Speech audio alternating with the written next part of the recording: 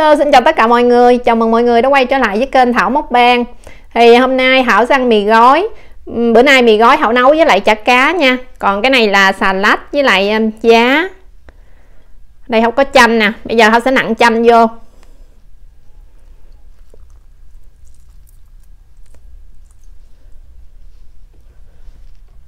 Rồi cho tương ớt nha.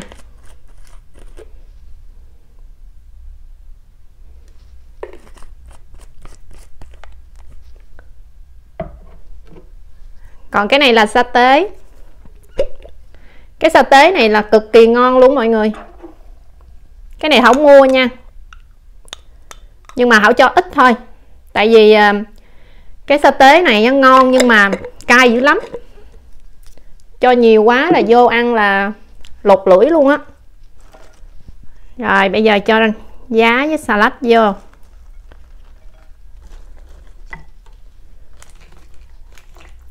Mì gói chả cá.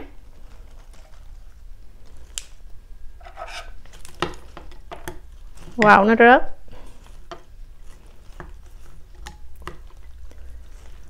Nóng dữ lắm luôn nè, bốc khói luôn á.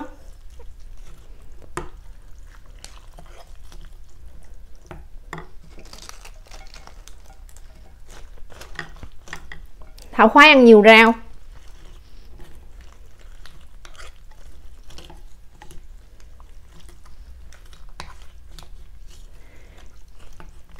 Cái chả cá này là chả cá hồi nha. Thảo ờ, tự làm luôn á.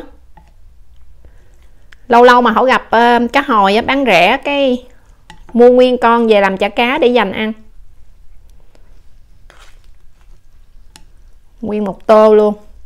Rồi bây giờ Hảo xin mời ờ, tất cả mọi người cùng thưởng thức với Hảo nha.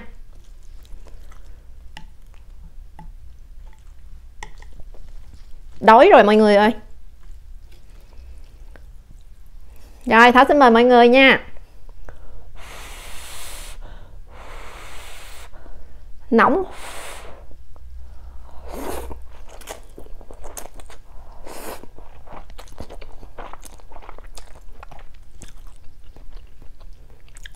Chả cá nè.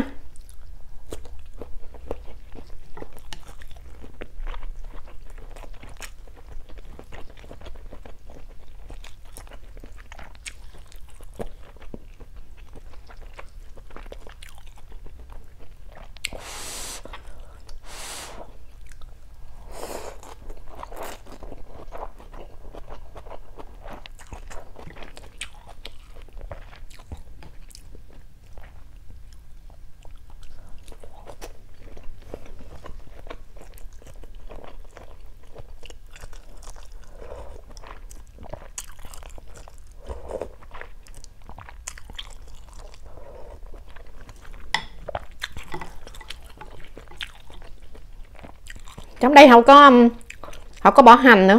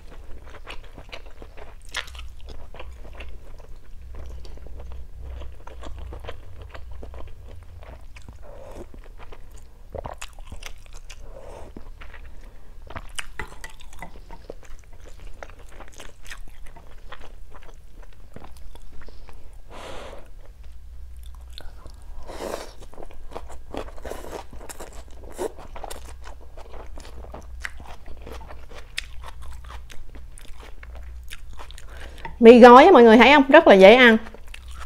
Tiện lợi nữa. Đi đâu về hay là bận việc gì đó.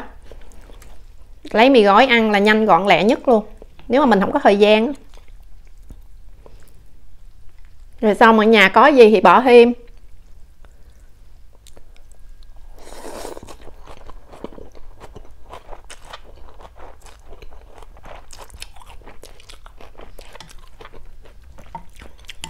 Dễ ăn bỏ gì thêm cũng được hết.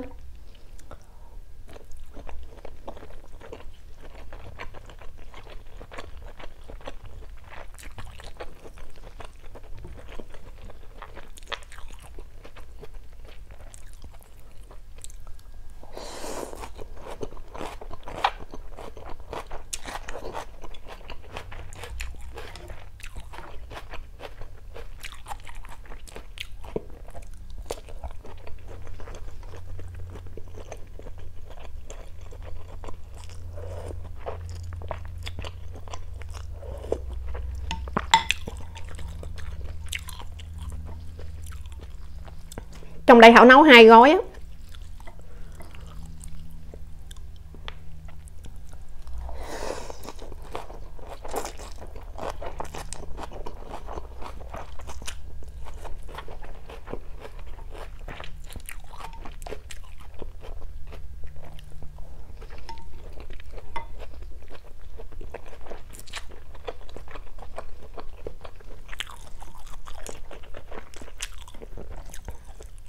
Bỏ con ít sa tế thôi mà không còn cay, mọi người. Tương ớt thì nó không có cay nhiều. Tương ớt thì nó chỉ tha tha thôi. Cay là cái sa tế nó mới cay.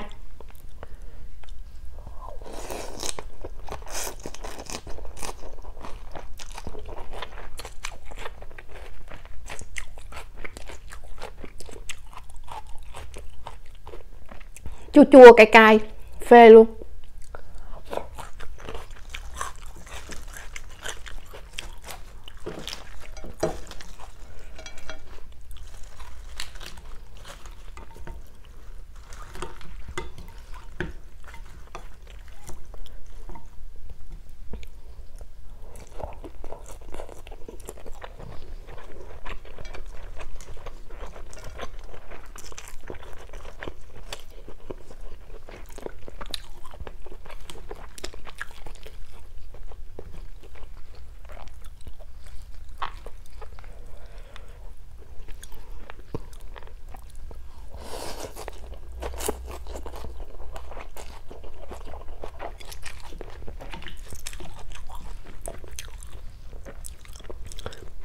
Ai chưa ăn đói bụng á, lấy mì gói ra nấu ăn chung với thảo.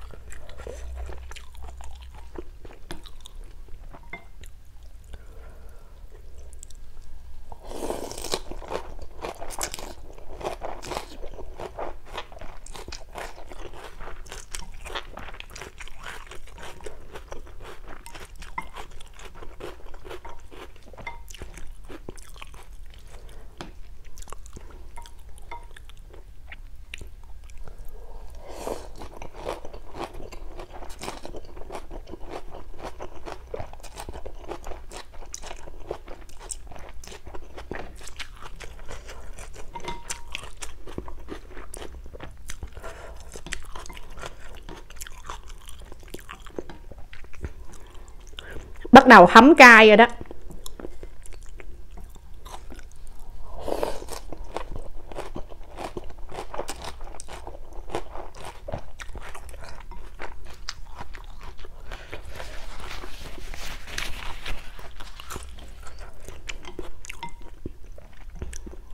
Mấy cái mấy cái món nước á, mình ăn cay cay á chua chua nó mới ngon. Thảo không thích vậy đó nặng chanh đồ. Bỏ ớt vô cho nó cay cay. Ăn nó mới phê.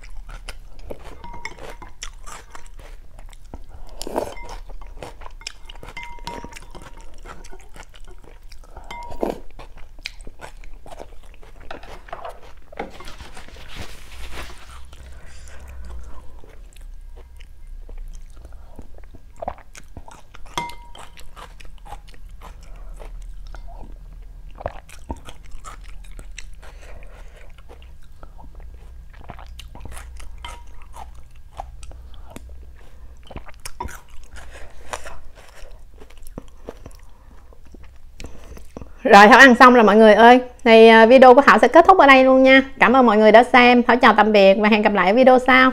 Bye bye.